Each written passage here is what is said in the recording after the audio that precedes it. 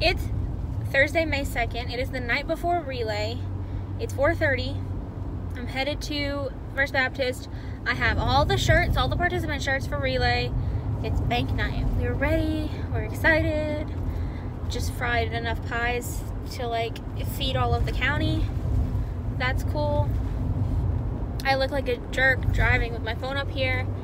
Um, but yeah.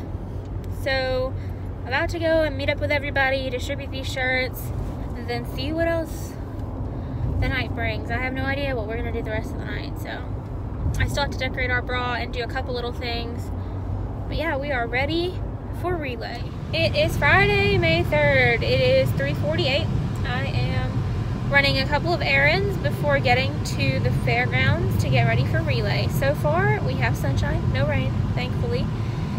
And yeah, it's gonna be an awesome, awesome day. There's a fishing tournament in town, so things are a little crazy. There's like people everywhere, and like a fishing boat just went by, Cabela's Bass Boat. And there's like 18 wheelers and everything, but ready ready, ready, ready to relay. Ready for an awesome night. Can't wait. So, uh, yeah. Stay tuned. I'm glad I looked down and saw cars down Hey, Rebecca. Hey. Hi, Rebecca. Hey, she just stepped on my Aren't foot. you excited to relay? What are we fixing to do? About to have the opening ceremony, We're which about is to- going to be awesome. Yes, we're about to go up on stage and be awesome. Mm-hmm. We're excited. Um, we got balloons going on over here. Everything's going on. Who's excited? I'm excited. Are you I hot? know several are excited for tonight. I know. So let's head that way. We're gonna head that way. And in May, I participated in my very first Relay for Life. 25 years later, I wouldn't be anywhere other than right here with you tonight at our home relay. So I started in 1995 at Heritage Park because it was the right thing to do. And I relayed for many years because it was the right thing to do. Then came March of 2002. In fact, the Ides of March, March 15th, when the doctor looked at my wife and I and said, Mr. Cornelius, you have cancer. We were in a bulletproof time of life. I was just before my 40th birthday, 16 years into a great marriage, seven year old daughter. My wife, mine and my wife's careers are going, going great. On top of that, we had opened a small boutique in Cullman because that's what we wanted to do. Everything was, we were just in the throes of life and enjoying it. All that Kevlar fell to the ground. When on March the 15th, we heard those three words, you have cancer. By March the 18th, we knew we had stage four Hodgkin's lymphoma. And by March the 28th, I was sitting in a chemo chair. Two days after my 40th birthday. That was right after the emotion put me in the bathroom floor in the chemo, in, in the clinic. And just that overwhelming of where I was. Fast forward now to May 2002. At the time, it was the second Friday in May. That night will always hold a special meaning to me because that night, relay became real to me. I wasn't just doing it anymore because it was the right thing to do. I was doing it because I too was in a fight for my life. He's gonna make me cry. Um, part of that team that surrounded me and engulfed me and pulled my wife, my daughter now off that, off of that track is also in this fight now. But that night, relay became real to me. And you know, I look back on it now, and I realize there was something else that happened with my cancer diagnosis. I wouldn't have told you this at the time, but I stand here tonight and tell you that cancer saved the rest of my life. I don't mean years, how long I live, or anything like that. I mean the rest of my life. I mean the dash in between. Cancer gave me a mission. I realized that I wasn't where I was to put it on a shelf. That I had a responsibility, almost an obligation, to get in this fight in every way that I could. How, do, how can we use our stories and our experiences to help those coming behind us.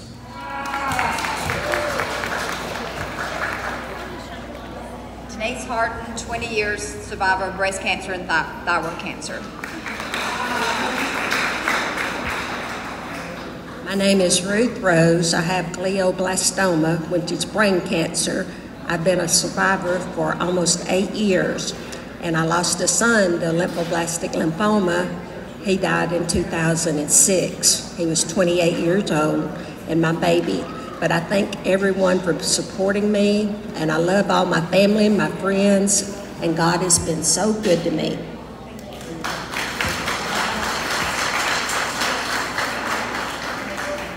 Hi, I'm Shirley Fraley. I'm a breast cancer survivor for 21 years. And I'm the husband, I'm Paul Fraley.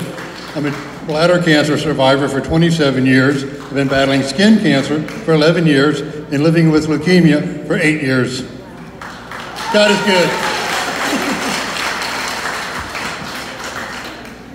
I'm Barbara Roberts. I had breast cancer and I'm a nine year survivor.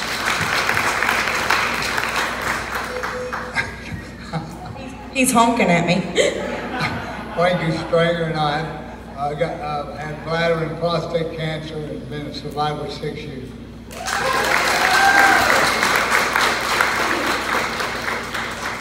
Rhonda Goodwin, 25 years breast cancer, two years bladder cancer. I'm Janice Kaysen. I'm a survivor of colon cancer for 21 years. Robert Motter, bladder cancer, two years. He's the one that made me cry.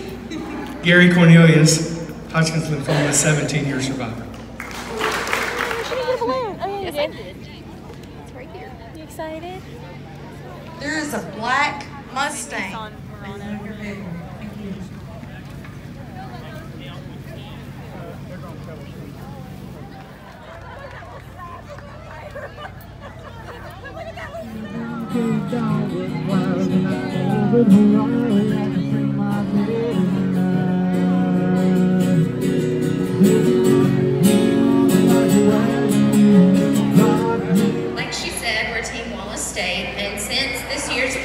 Bringing home a cure, we had Iron Bowl, which was Teams United for a Cure. So whether you scream Roll Tide or War Eagle, we can all stand united for a cure. Can I get a Roll Tide? Yeah.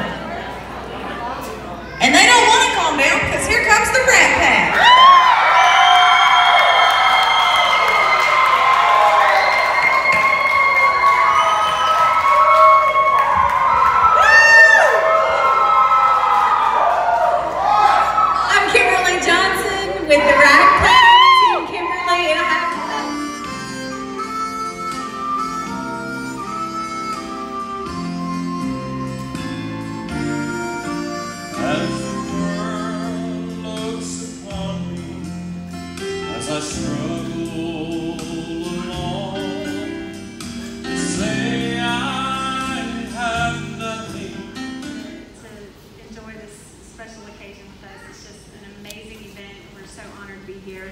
And I'm so honored to have been asked to speak to you guys tonight.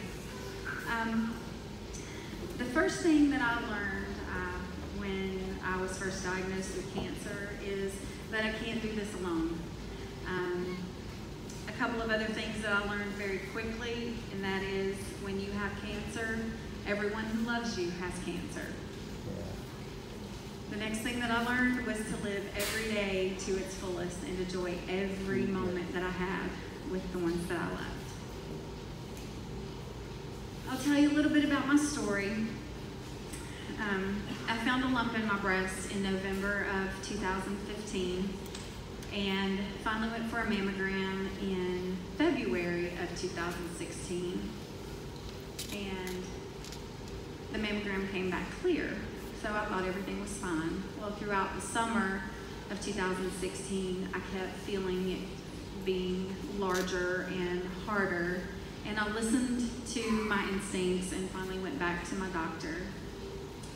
And had another mammogram and ultrasound, and my tests came back positive for stage 2B in ductal carcinoma breast cancer with lymph involvement. It was a very scary time for me.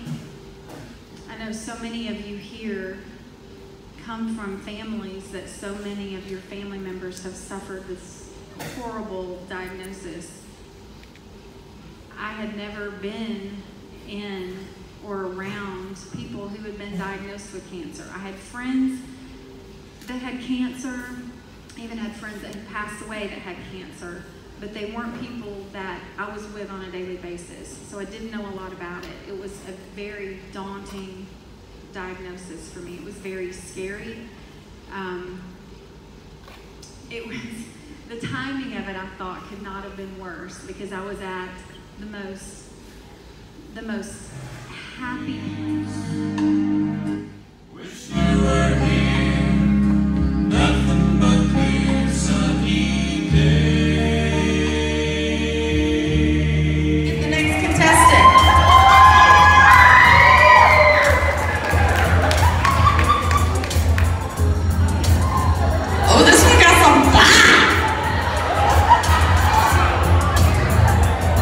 Your name and what team you with? The uh, Big Booty at Cullman High School. All right, show us a little pose.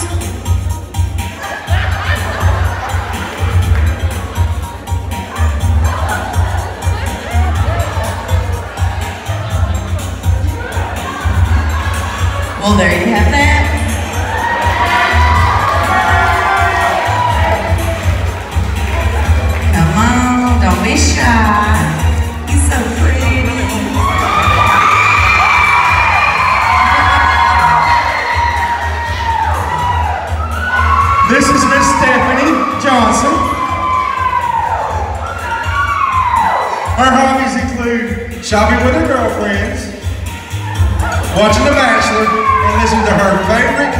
Artist, Shania Twain. This is Stephanie, Stephanie Johnson. He got a little slit up the back too. Look. Here we go. That contour, man? You did a great job. All right, let's get the next person up here.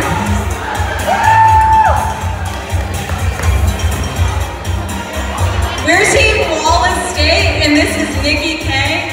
He's a full-time. His hair is naturally that color.